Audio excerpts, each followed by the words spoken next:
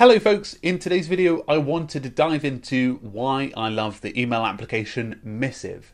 Now, for those who don't know, I use an email application called Missive and I find it a pretty reliable experience and it's something that I've been using for around about a year, almost probably a year and a half, like sort of in between that bracket.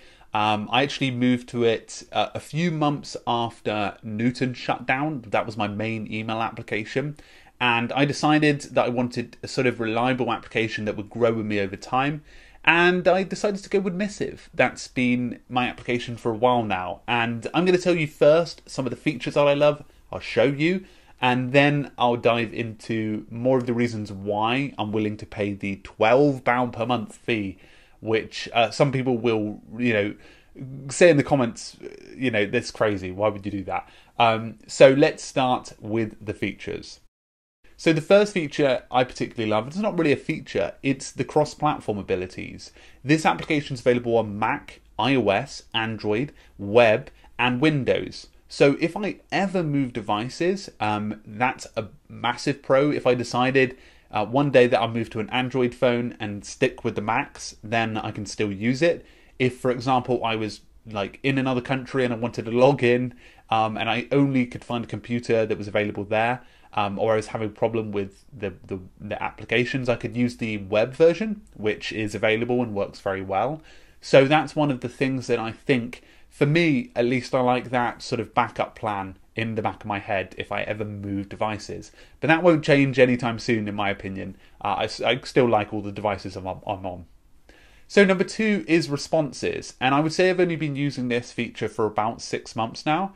But what I particularly like about it is I can say I'm doing something quite repetitive, um, like a giveaway for competition, um, or even just uh, responding with something about the affiliate programs or um, to sponsors a bit about the information on statistics on the channel or things like that. Then what I'll need to do is all I do is open up the responses paste in the one that I want that I've pre-created and it just does all that job for me and I can press send faster than ever. So anything that I know I'm going to be sending more than five times in my lifetime, I definitely create a response uh, on. And this is something that I've been doing a lot more of. Especially recently, I've been trying to prepare my paternity leave one so that people know that I'm on paternity leave.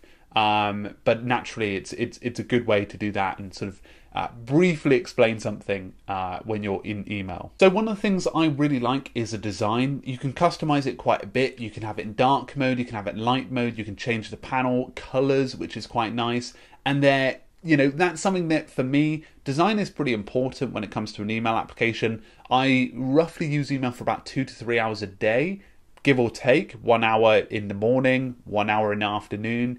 Uh, roughly, when I do big clear outs of email, uh, it may even be less than that. But at the same time, I like the email application to look really attractive. And the reliability of the platform is something that's really important to me. And I've never had a hiccup with Missive. And what's quite nice is it syncs extremely well on all devices. You're paying for an extremely fast sync. And that, for me, is one of my many uh, things that I like. I also like the super advanced settings. So you can go into settings and really create a custom environment. Um, uh, for example, you can add profile photos, you can change the appearance, and you can prepare yourself to add other team members, which for me might actually be valuable in the future, especially if I want somebody to come in, understand the company, they can get a sort of good track of what all the emails coming in are all about. And I can invite them to certain specific emails and bring them into conversations and even add them and assign them tasks. So that's one of the reasons I like it for more of a long term approach. So, one of the things I really like in an email application is read receipts. Although they're not incredibly important, I really like having them because it tells me if that person has like been able to read it in that time period and I can also not bother them too much if they have read it.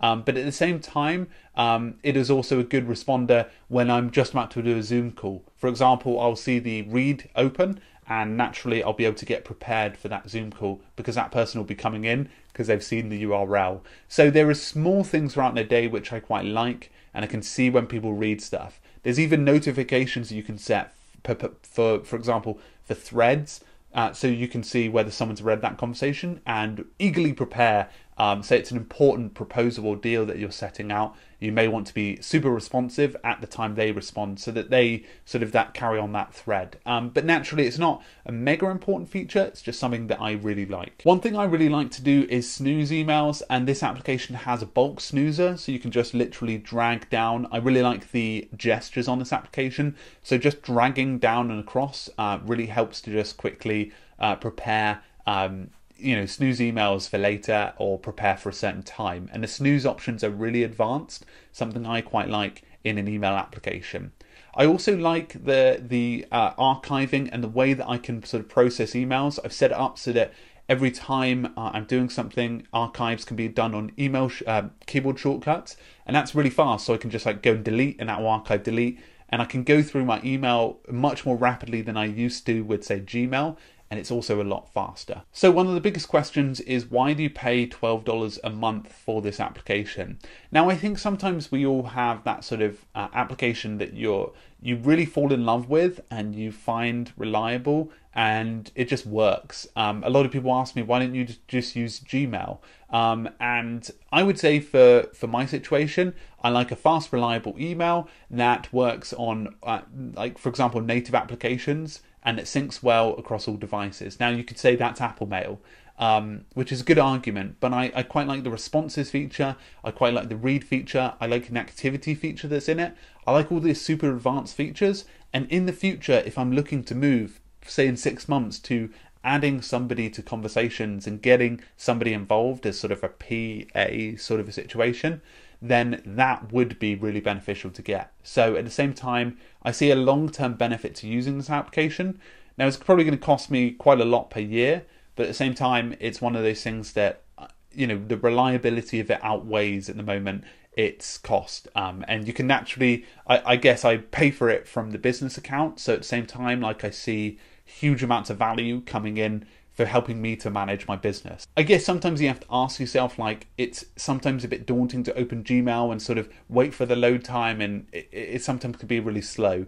So, in my opinion, having this as a unified inbox, all of my emails in one area, is something that I find really valuable. I'm sure, not sure I sold this to you today, uh, but I just wanted to share why I'm attracted to this application. And uh, let me know in the comments below what application you use and how you use it, because I'd love to hear. But guys, I hopefully will be doing more videos soon. I'm looking to plan a what's on my iPhone video for this channel, so hopefully that becomes useful. Anyway, guys, I'll see you very, very soon, and thank you very much for stopping by. If you're new here, subscribe and comment below, and also like this video. Anyway, guys, thank you, and I'll talk soon. Bye.